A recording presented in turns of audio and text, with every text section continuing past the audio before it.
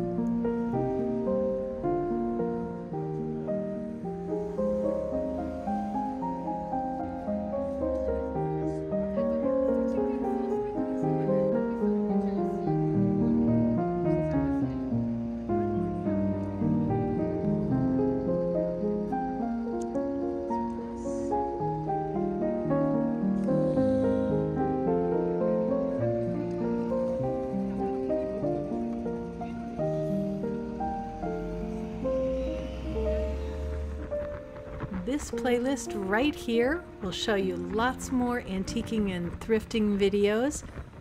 As always, thanks so much for shopping with me today.